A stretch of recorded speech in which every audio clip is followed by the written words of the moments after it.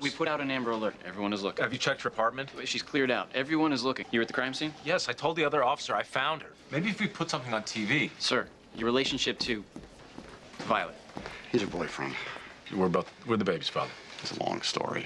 I'm not sorry I came here. I needed to see you, even if it was just one last time. I can see you moved on. I was gone a long time. I'm happy for you. I really am. He's a great guy.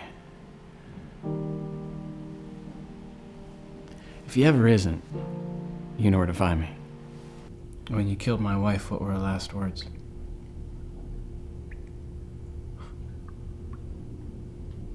See, that's what tears me up inside.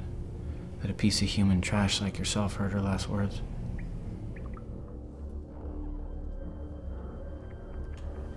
You don't deserve that honor. Those were mine to hear. So now I'm gonna hear yours. Hey, Gina. You're here. Of course, because this is where you live. Uh, anyway, um, yeah, I just stopped by to see if uh, you're not busy, which you probably are because you're you, which is awesome. Uh, but um, if you're not, then maybe you'd want to go out with me.